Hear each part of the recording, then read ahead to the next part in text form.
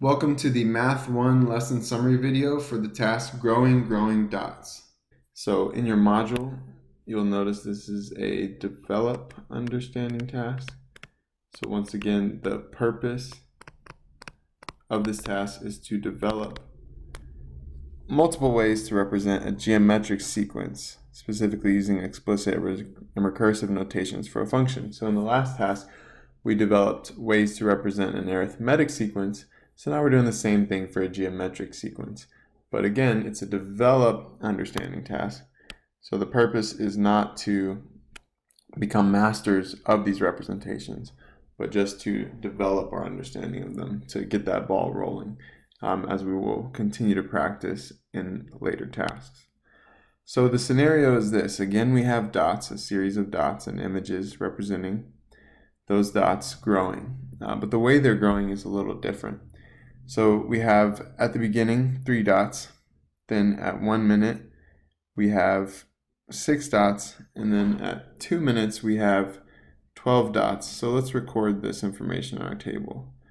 So at the beginning we had three dots, then six, then 12, uh, and then we have 24 dots I can see that quickly because it's eight groups of three. And then here we have groups of 16 and there's three of them, so that's 48 dots. So the task asks different questions. Instead of asking us five minutes and then 100 minutes, it asks us just for five minutes. And I don't really want to draw a picture to represent what this is going to look like at five minutes. I just want to figure it out mathematically, and that's just a personal preference because I don't feel like drawing however many dots it's going to be because it's going to be a fairly large amount. So let's just look numerically at the pattern. What do you notice is happening to get from one number to the next this time in this sequence? If you said multiplying by 2, you are correct. So we have times 2, times 2, times 2, times 2. 2 times 2 is 6, 6 times 2 is 12, 12 times 2 is 24, 24 times 2 is 48. So we have multiplication by 2, and that's what makes this a geometric sequence. In the last task we saw an arithmetic sequence, it adds a constant difference every time, or subtracts, coincidentally. A geometric sequence, it is always multiplying by a constant ratio. Um, and dividing is the same thing as multiplying by a fraction, so it could be division as well. But in this case, it's multiplication by 2. So if we take that idea, then we can see 48 times 2 at 5 minutes, we're going to have 96 dots. And so we've answered the, the first question related to this type of thinking using a recursive strategy. So I've kind of approached it right now the same way I'm, what I'm calling student one has approached it. And so student one may have represent, represented his thinking visually by showing that each time as I go from one iteration of dots to the next, as the minutes change, the whole image is doubling. So you can see the three black dots at zero minutes that form a triangle. They double with three orange dots to make two triangles, creating six dots. And then each of those three pairs doubles, as shown in purple, to then create 12 dots. And so that's recursive thinking again.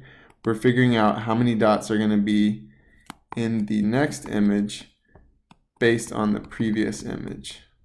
So we can write a recursive function rule or formula.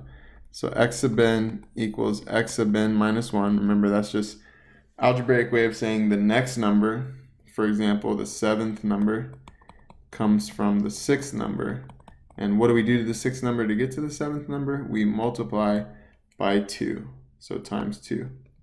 Again, we need a starting point. So our starting point in this case was 3 dots. So x sub 0 equals three dots. That's a zero, yep.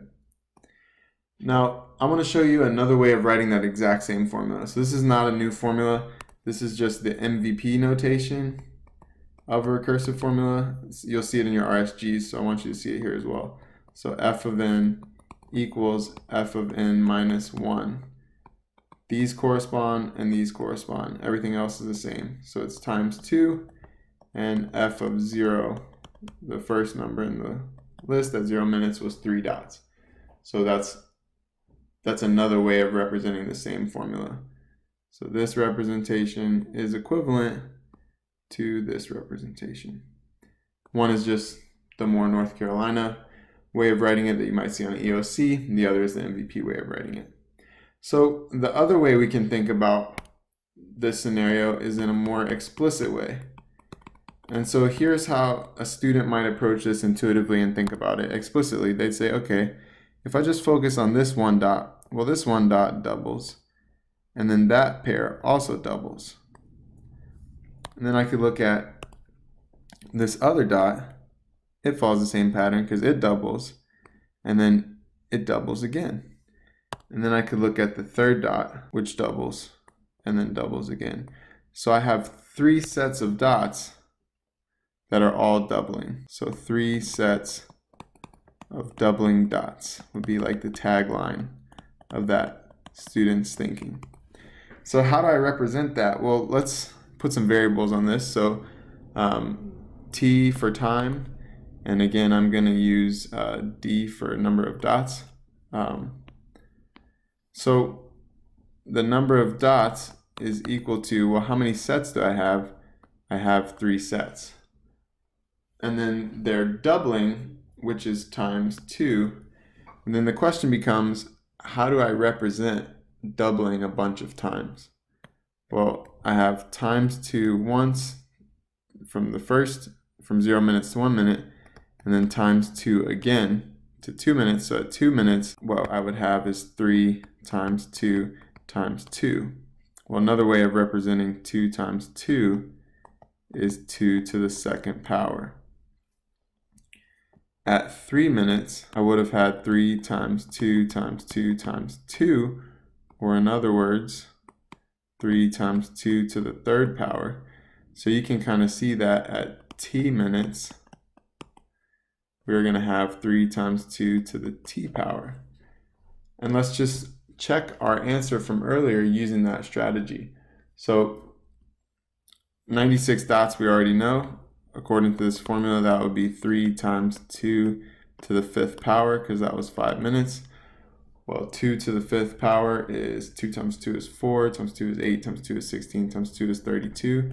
So that's 3 times 32, which is in fact 96. So we verified that the formula works from information that we already knew to be accurate. And so those are all the representations for this task. Again, it's a develop understanding task.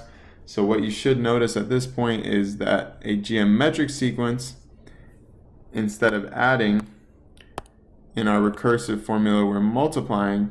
And in our explicit formula, instead of 2 times t like we previously had, we have 2 to the t power because repeated multiplication is represented by exponents.